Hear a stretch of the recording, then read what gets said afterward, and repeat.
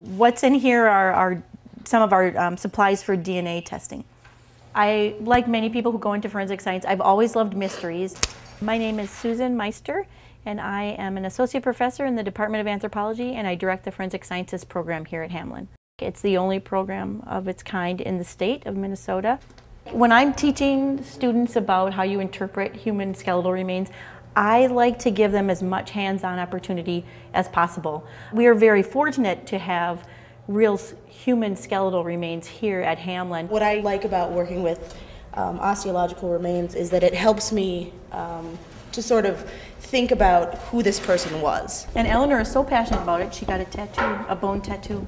Another highlight of our forensic sciences program here at Hamline is the fact that all of the faculty that teach in the program are practitioners, so they're professional forensic scientists. My internship was at the Anoka County Crime Lab. I got to work in all aspects of the crime lab. Um, evidence room, I got to go out on some cases. Sometimes uh, when the a case arises, students are able to come with me to the medical examiner's office or even out into the scene to help search for human skeletal remains.